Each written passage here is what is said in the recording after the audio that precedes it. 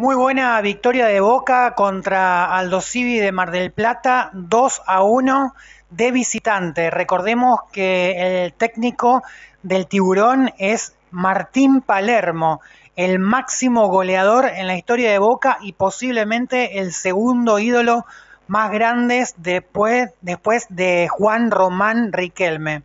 Por lo tanto, al inicio del partido, en la cancha de Mar del Plata tiene de lo lindo que los jugadores entran los locales como los visitantes entran por el mismo túnel todos juntos al mejor estilo europeo.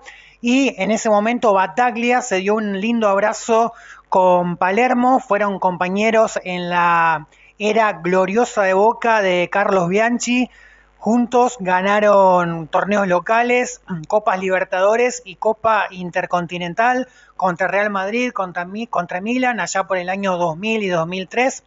Otro abrazo muy emotivo fue de Pipa Benedetto con Martín Palermo. Pipa Benedetto es considerado el segundo goleador más importante después de Palermo. Y además Pipa, flamante refuerzo de Boca, reconoció muchas veces que su ídolo es justamente el Titán. El partido en sí, Boca jugó mucho mejor que el partido del fin de semana pasado contra Colón. El primer gol llegó por Sebastián Villa luego de un pase exquisito de Pipa Benedetto. Se invirtieron los roles asistidor y definidor. Fue a los 16 minutos del primer tiempo. Villa recibe en el área ese pase de Martín y el arquero sale a achicarle, pero Villa se la tira larga por derecha y después define con el arco solo también con pie derecho. El segundo gol llegó a los 5 minutos del segundo tiempo, otra jugada que el colombiano Villa aprovecha su velocidad. Si ustedes ven la, jugada, eran tres defensores de Aldo Civi y únicamente Villa en el ataque. Villa tirado por derecha en velocidad, se saca de encima uno de los defensores, queda mano a mano con el arquero, define cruzado al segundo palo antes de que llegue uno de los defensores a barrer y evitar el gol, golazo de Villa. Los dos goles lo metió el colombiano. Con esto alcanza a ser el jugador colombiano con más goles en la historia de Boca, 19. Superó a Edwin, a Edwin Cardona, que tiene 18 goles, y también al patrón Bermúdez, que tiene aproximadamente 16 goles. Estamos hablando de partidos oficiales. El patrón Bermúdez hay que, tener en cuenta que metió muchos goles de cabeza y también de penales. Boca, por supuesto, sufrimiento, históricamente no gana sin sufrir. Así que a los 44 minutos del segundo tiempo, ya finalizando el partido, Mosquera, un jugador muy interesante de Aldo Civi, hay que seguirlo a este volante creativo, mete un pase para que pique Lucero por la derecha del ataque de Aldo Civi tira un centro por abajo que ningún defensor puede tocarla. Cali Izquierdos en última instancia no puede, no puede, no se tira pero no alcanza a tocarla y que sí llega es Cauterucho por atrás, se tira al piso, estando a uno o dos metros del arquero Rossi, le pega muy bien eh, por arriba, gol de Aldo Civi y a sufrir. Fueron tres o cuatro minutos de sufrimiento totalmente innecesario para Boca porque la verdad que mereció ganar por más goles, el resultado termina siendo mentiroso de 2 a 1. Boca desaprovechó muchas oportunidades para cerrar el partido antes eh, y bueno, casi le pasa lo mismo que Colón, que Colón le terminó empatando sobre la hora. En este caso, gracias a que había metido dos goles, Aldo Civi únicamente alcanzó a descontar. Muy importante esta victoria de Boca porque recordemos que es un torneo corto. Son apenas 14 fechas y tenés que quedar entre los cuatro primeros para clasificar a la próxima instancia de la Copa de la Liga Profesional. Boca había, le habían empatado en los últimos minutos el partido pasado, Colón de Santa Fe, con gol de, de Beltrán, así que era urgente sumar de a tres puntos para no quedar rezagado al inicio del campeonato. Hay que aprovechar a sumar puntos ahora porque pronto comenzará la Copa Libertadores y Boca priorizará obviamente ese certamen por sobre el torneo local. También otro de los destacados fue Paul Fernández, otro de los flamantes refuerzos.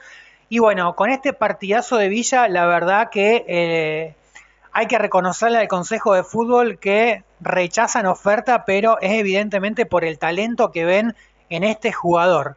Lamentablemente sus cuestiones extra futbolísticas a veces generan problemas, Boca sale en los diarios por cuestiones de conducta, de mal comportamiento, pero bueno, hay que reconocer que dentro de la cancha el tipo la rompe y acá lo está demostrando.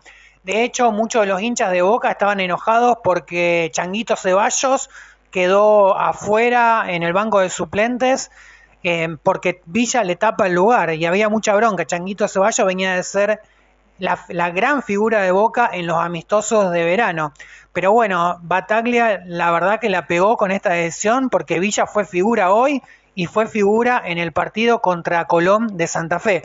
Pero bueno, pr pronto cuando comience la Copa Libertadores, la Copa Argentina, podrá haber muy buena. Es bueno tener mucha. Es un lindo problema tener muchos jugadores para un mismo puesto porque eh, habiendo tantas competiciones va, va, va, a haber lugar para todos. También para el flamante refuerzo de Boca. En este video te, te contamos ayer sobre la llegada de Oscar Romero, el ex jugador de, de Racing y su último paso fue por San Lorenzo del Magro, hace seis meses que está con inactividad, así que habrá que ver cómo rinde a pesar de eh, todos estos meses sin jugar, más allá de que estuvo jugando un poco para la selección paraguaya, que justamente dirige un ex Boca, hablamos de Guillermo Barros Echeloto.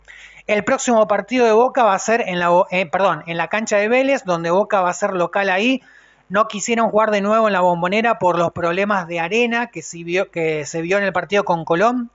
Eh, la cancha está en muy mal estado. Recordemos que se están haciendo las obras para corregir los problemas de drenaje que tenía la cancha de Boca cuando llovía. Había que suspender los partidos. Ustedes recuerdan el torneo pasado contra Newells, un domingo a la tardecita, que hubo que suspenderlo por abundante lluvia y jugarlo a las 48 horas.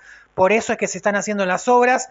El domingo se decidió, por respeto a los socios que pagan el abono en plena pandemia, se decidió jugar igual en la bombonera, que los flamantes refuerzos puedan presentarse ante la gente. Sin embargo, las imágenes en televisión se vio que había mucha arena, era realmente, no se podía jugar en esa cancha. Además, corres riesgo de que muchos jugadores se lesionen. Es por eso que Boca decidió el próximo partido contra el Canalla jugar de local en la cancha de Vélez. Y después Boca le toca recibir a Independiente eh, en un clásico, el rojo que perdió la primera contra el Pincha, pero anoche se recuperó y le ganó 1 a 0 de local a, Arsenal. Y bueno, el equipo de Eduardo Domínguez viene, viene mostrando recuperación, así que será un lindo partido. Me gustaría saber tu opinión.